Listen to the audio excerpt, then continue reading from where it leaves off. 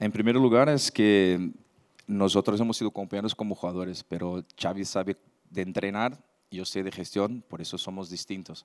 Pero cuando hablamos de fútbol, como te he dicho, siempre llegaremos a un punto en común porque estamos hablando de fútbol. La continuidad de Xavi se lo ganó. Eh, Xavi no, no, no tiene que renovar porque nosotros creemos que ha sido un gran jugador, porque Xavi es la figura del club, de los jugadores más importantes de la historia. Xavi se lo ganó como entrenador. Entonces yo creo que tiene que renovar porque se lo ganó.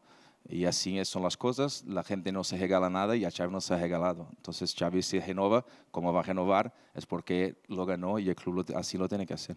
No te preocupes, que cuando renove ya lo sabrás. Nosotros, eh, como el presidente ha dicho, como ha dicho Rafa Yuste, eh, estamos contentos porque al final, como te he dicho, no solo por la figura, pero por el entrenador.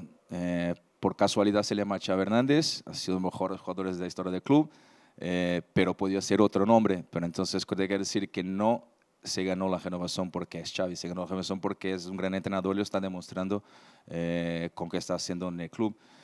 Eh, eso será decisión siempre del club y de Xavi. No te preocupes que estaremos siempre de acuerdo en, en las cosas.